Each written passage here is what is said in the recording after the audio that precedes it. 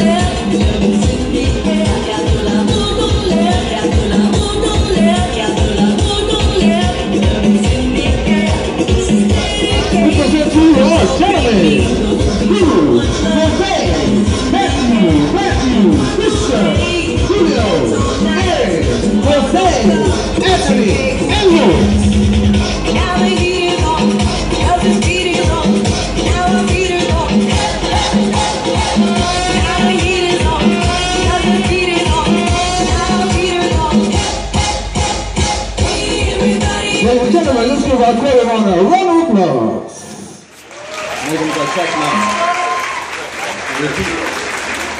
And now, ladies and gentlemen, her parents are now going to represent her, and we're going to do our toast.